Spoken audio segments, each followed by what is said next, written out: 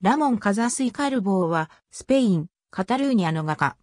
カスティーリャ語読みでは、ラモン・カサス。風刺が、上流階級の人々の肖像画で知られる。また、バルセロナの路上で抗議する人々を抑圧する様子を描いた作品で有名になった。グラフィックデザイナーとしても、彼の描いたポスターや絵はがきが、カタルーニャの芸術運動であったモデルニスモを知らしめるのに貢献した。フラメンコダンサーに扮したジガゾ・カザスはバルセロナで生まれた。同名の父ラモンはキューバで財を成し、母エリザはカタルーニャのブルジョア出身だった。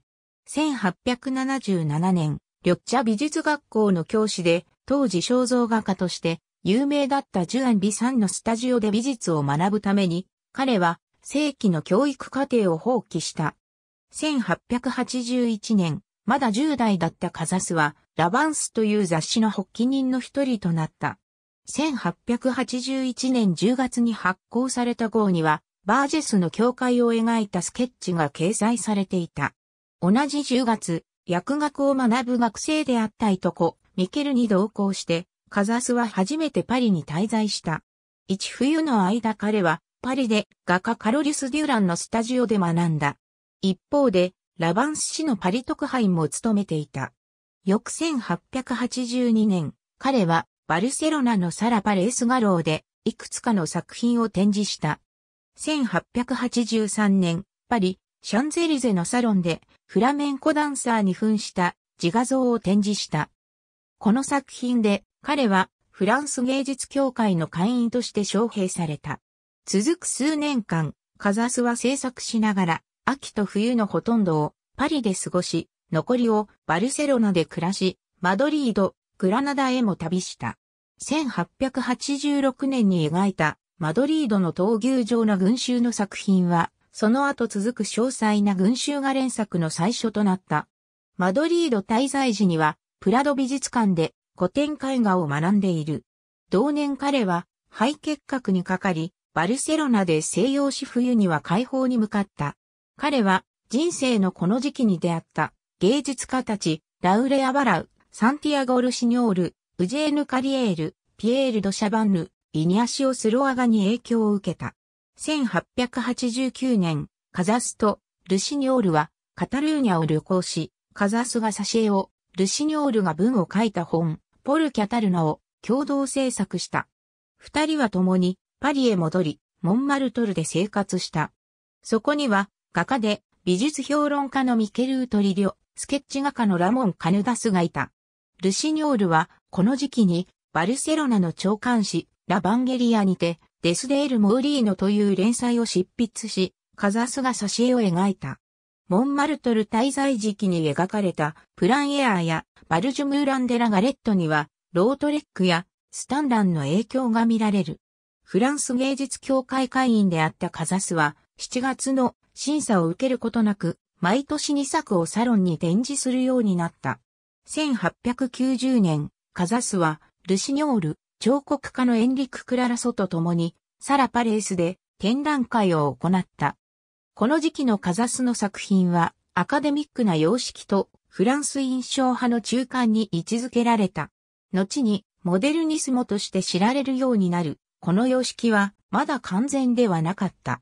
しかし鍵となった人々が互いを見知るようになり、バルセロナで成功したカタルーニャ人芸術家たちが次第にパリで自らを確立しようとやってくるようになった。カザスの名声はヨーロッパや世界を介して広がり、マドリードやベルリン、シカゴ万博での展覧会で成功を収めた。一方で、ルシニョールやカザスを含むボヘミアンのサークルは、頻繁にバルセロナやシッチェスで自分たちの展覧会を開くようになった。カタルーニャでの活動が増えたことで、バルセロナに滞在することが多くなったが、カザスは毎年のサロンでの発表のためパリへ通い続けた。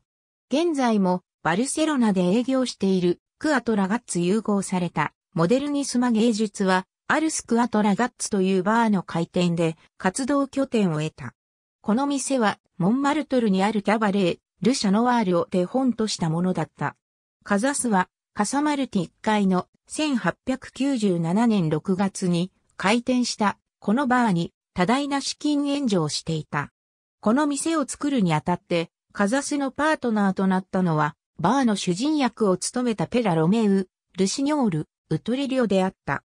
展覧会の場所にもなった、このバーには芸術の仲間が次第に集まるようになり、若く無名であったパブロ・ピカソも、その一人であった。店に残るカザスの傑作のうち最も有名な作品は、パイプを加えた、カザス自身がロメウとタンデム自転車にまたがっている姿を描いた自画像である。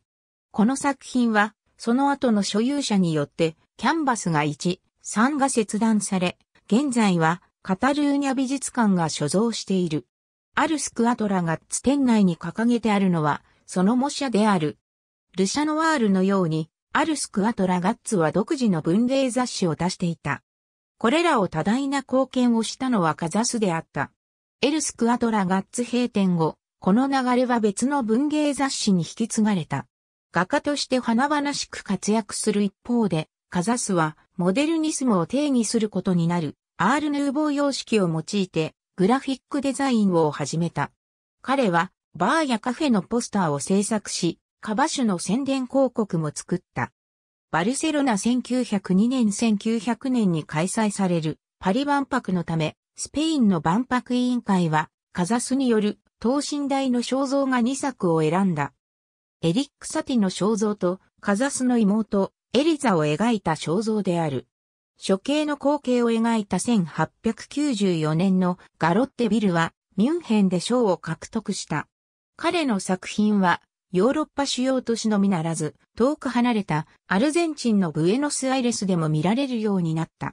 1902年、カザスの12作品がバルセロナの上流階級が集う私的クラブサルクル・ダル・リセウのロトンダに常設展示された。1903年、彼はパリのサロン・デュ・シャンド・マルスの会員となり、毎年作品が展示されることになったが、実際に展示されたのは2年間だけだった。1903年、サロン出展のため描かれた作品の一つが、ラ・カルガである。この作品は、1902年に起きたバルセロナでのゼネストの様子を描いている。しかし、グアルディアシビルが群衆を蹴散らす、この作品は、実際のゼネストの2年前の出来事とされている。1904年、この作品で、カザスは、マドリードの作品展にて一等を獲得した。1904年のマドリード滞在中、ホアキン・ソローリャや、スペイン政府公式彫刻家、アグスティン・ケロルといった芸術家と親交を結び、カザスはマドリード上流階級の風刺画を制作した。ケロルのスタジオでカザスが完成させたアルフォンソ13世の騎馬像画をアメリカ人コレクターチャールズ・ディアリングがすぐに買い上げた。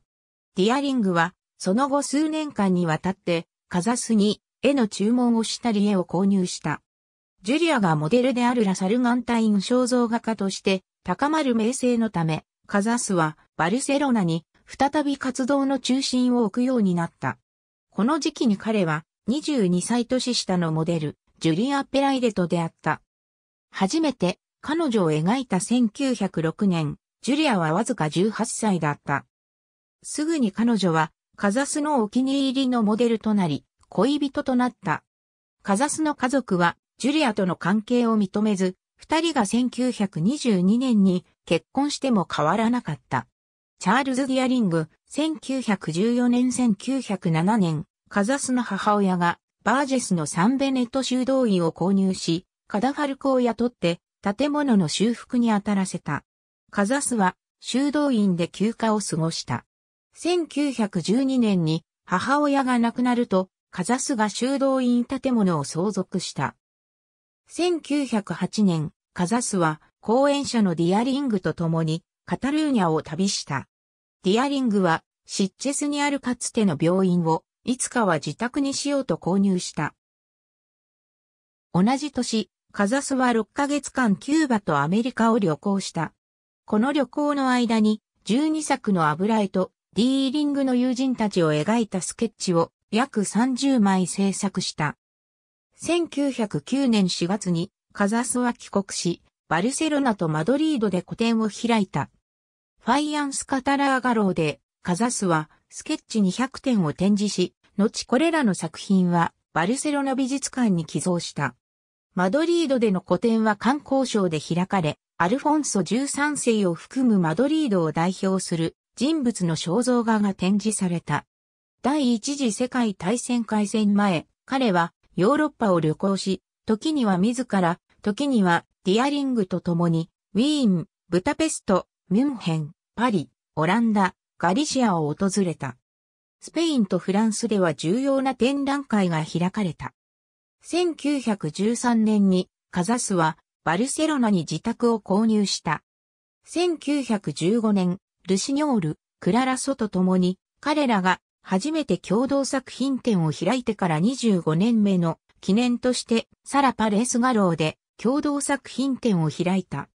1929年に描かれた結核撲滅のポスター1916年カザスとディアリングはタラゴナ県のタマリットを旅行した。ディアリングは村全体を買い上げ、カザスも建物改修計画の指揮を取った。